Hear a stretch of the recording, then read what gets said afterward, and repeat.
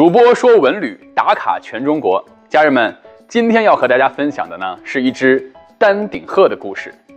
壮壮是一只在两年多前因生病体力不支掉落海中的丹顶鹤。秦皇岛的热心市民和民警将它救起之后啊，送往了秦皇岛鸟类收容救助站。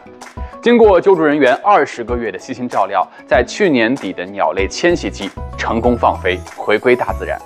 很多人认为啊，对于野生动物的救助，放归野外也就是故事的结局了。其实相反，对于救助人员来说，回到自然界后，壮壮能不能适应环境，身体呢能不能支撑长途飞行，能不能成功回归鹤群或者找到新的朋友，这都是他们要一直关心下去的问题。在过去啊，要追寻一只丹顶鹤的身影，谈何容易？天大地大任它飞，我们怎么追得上啊？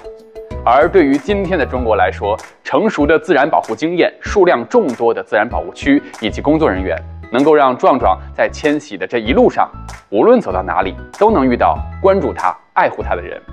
比如说前一段啊，我们在东营就遇到了当地的摄影师杨斌。当他听说壮壮最近飞到了黄河三角洲之后啊，他顶着冬季海上吹来的寒风，在冰天雪地里寻找了壮壮好几天。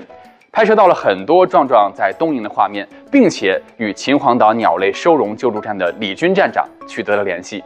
其实不难发现啊，壮壮迁徙的这一条路线呢，是中国的东部沿海，它所途经的这些城市呢，往往经济也都比较发达。